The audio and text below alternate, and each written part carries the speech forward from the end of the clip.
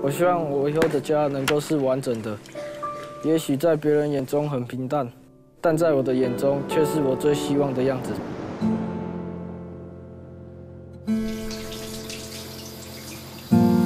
在寂寞没有办法，只是苦难如何看作如常？在这部纪录片中，导演谢兴志、陈志安用一年半时间拍摄超过七千分钟影片，记录位在台东的多组人物，他们超过五百年的岁月时光。有时候我常常觉得。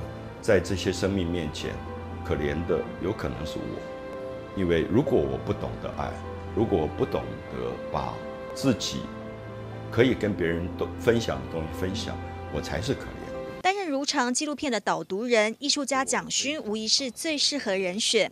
他住在池上已有五年，与乡亲共度过无数天灾考验，也目睹在资源缺乏状况中，贫困、疾病与老弱的无助。无奈。还要放进下面那个洞，有火它就会变成热热的水，就可以去洗澡了。你在哪？里洗澡？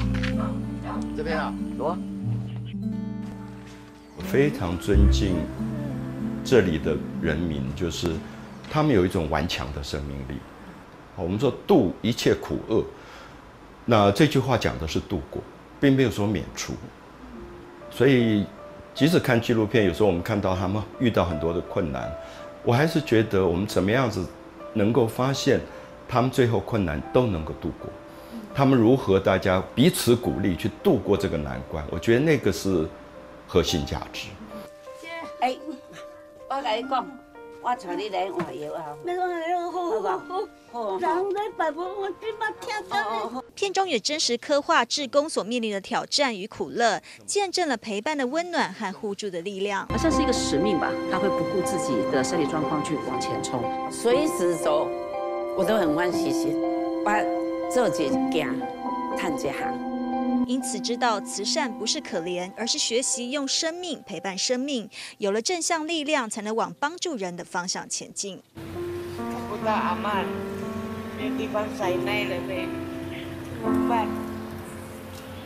资源不不只是钱，很多人会误解，以为资源就是钱，就是设备。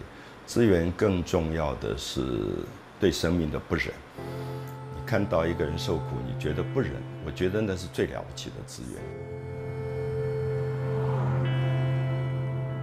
真的，他有打电话，他说他考到一百分，我真的很感动的那个时候心里。所以我觉得我们应该有更大的愿力，就是说祝福这个纪录片，号召更多的朋友来参与。谢张跟徐凯迪综合报道。